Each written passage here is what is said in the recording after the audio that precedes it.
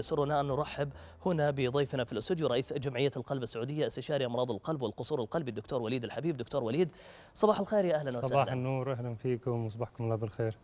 أهلاً. يعني الله يحييك دكتور. قبل ما نتكلم عن العلاج الجديد نبغى نتكلم بشكل عام عن مرض قصور عضلة القلب الطرق العلاجية مستوى الخطورة لهذا المرض نعم. كيف أيضا يصنف. أعطينا المزيد من المعلومات عنه.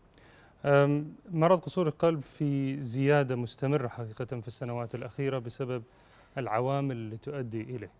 أم، قصور القلب أو ما يسميه بعض الناس بضعف عضلة القلب أو الفشل القلبي كلها مسميات تؤدي إلى نفس المعنى.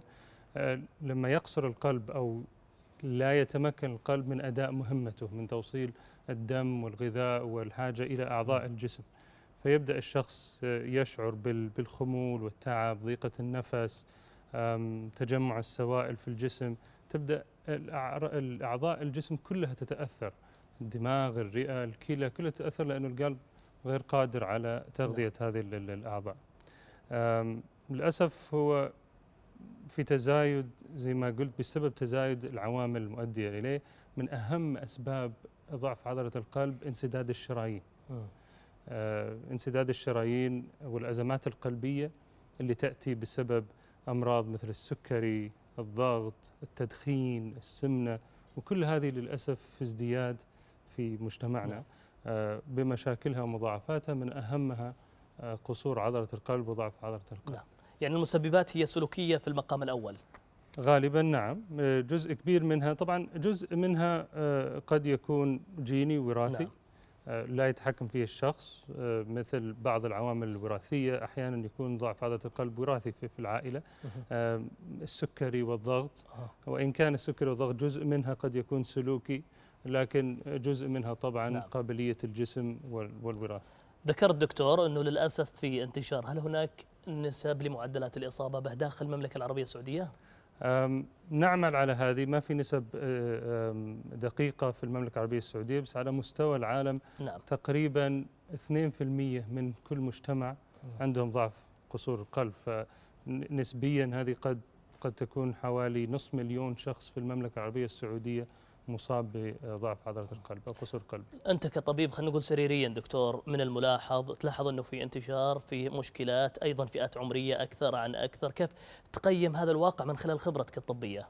طبعا هي تزيد بعد سن الأربعين م. بسبب آه، زيادة آه، زي ما قلنا ال- ال- السكري والضغط وانسدادات الشرايين لكن آه، قد تظهر في في سن مبكر آه، حتى في الطفولة خاصة في لما يكون في عوامل وراثية أو. هناك التهابات تحصل لعضلة القلب أحيانا بسبب الفيروس وشفناها حتى مع فيروس كورونا وغيرها من الفيروسات التهاب في عضلة القلب مما يؤدي إلى قصور عضلة القلب فقد. تحدث في أي سن لكن تزيد النسبة نعم وتصل حتى إلى واحد من كل خمسة فوق سن الأربعين معرض لقصور عضلة القلب. جيد. طيب خلينا نتكلم على مستوى خطورة هذا المرض. دكتور أيضا طريقة العلاج السابقة إحنا نتحدث عن العلاج الجديد وبنتوسع في الحديث عن العلاج الجديد لكن أعطينا الفكرة العامة كيف كان يتم الخط- التعامل مع هذا المرض. نعم. الخطورة الخطورة حقيقة عالية وتعتمد على على درجة تطور المرض لكن بالمجمل تقريبا 25% من المرضى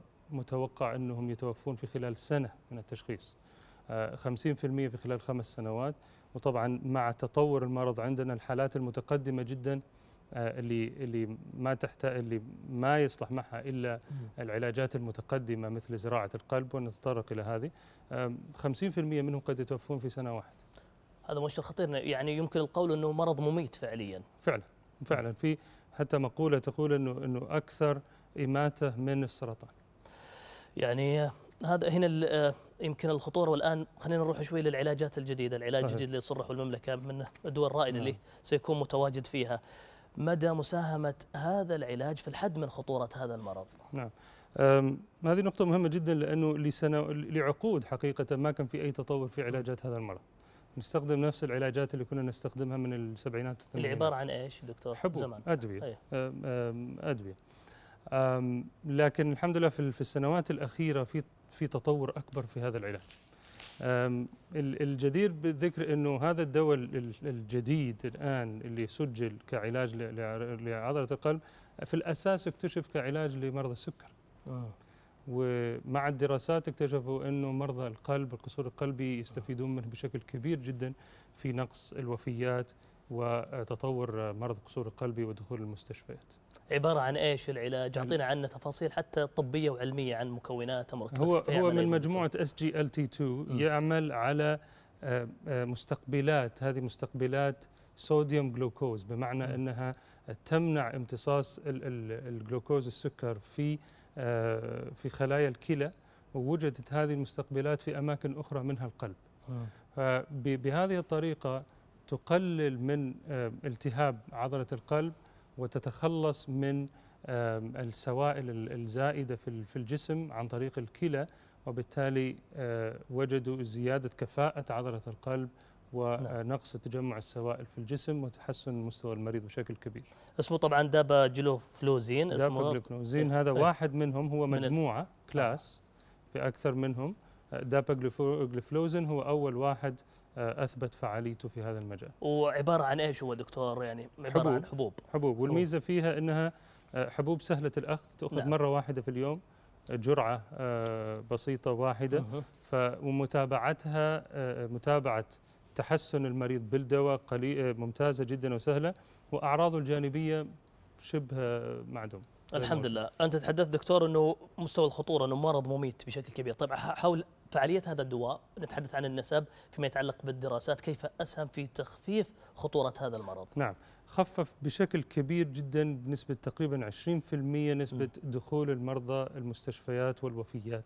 بسبب القصور القلبي وبسبب أمراض القلب لأنه مرضى القصور القلبي آه، تزيد نسبة الوفاة لديهم حتى لغير أمراض آه، غير أمراض القلب لكن مم. تزيد عندهم آه، تجمع السوائل دخول المستشفيات بشكل كبير.